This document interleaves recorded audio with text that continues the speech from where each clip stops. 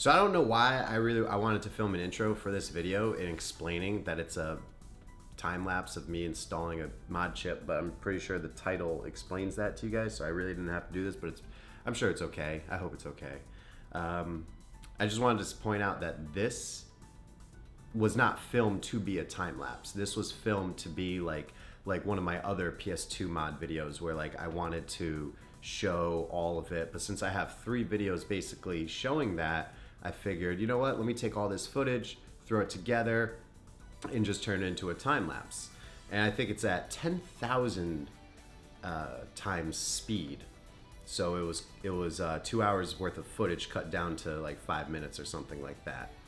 And I, I want the reason why I wanted to show a time lapse because I wanted um, I don't when if you see my other three videos about the PS2, it's very very like specific as to what I chose to show and there's so much that gets left out. So this is basically just everything just going just start to finish so you guys can see how much actually really goes into it for those of you who haven't done it or thinking of trying it or or something like that.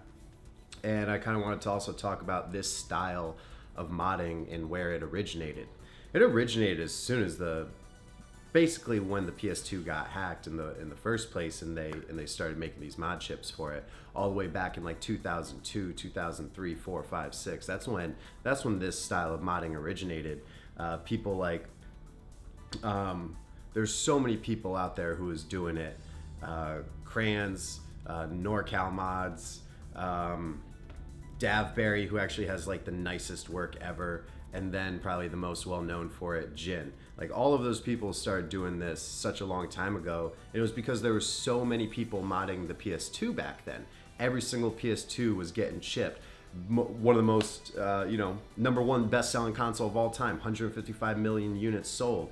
Such a good selling console. A lot of people were modding them back in the day when the when the system came out and uh, early into its uh, lifespan. Even when the Slim came out, a lot of people were modding it.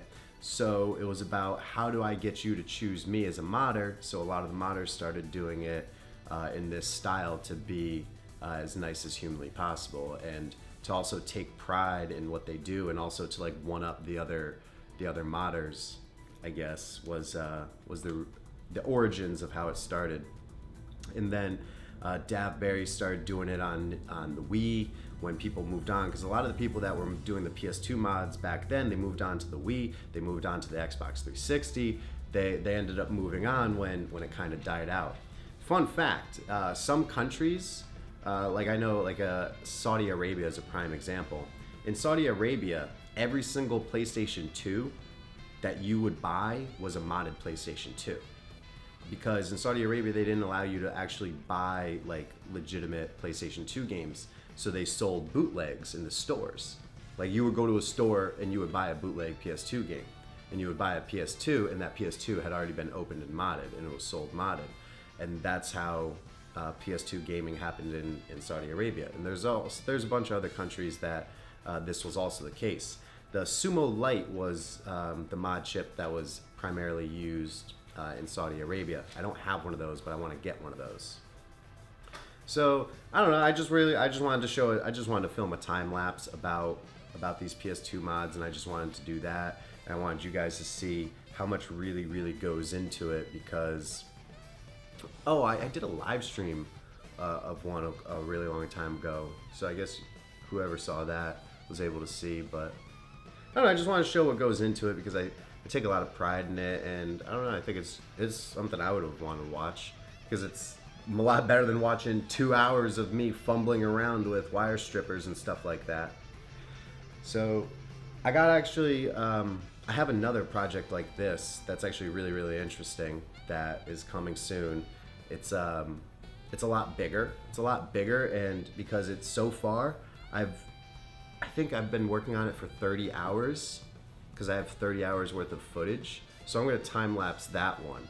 But this this is a crazy one. Stay tuned for that. I'll end up posting it on like Instagram as soon as it's done or something like that. So follow me on there if you want to see what this 30 long hour project I got going. It's really really cool. I think.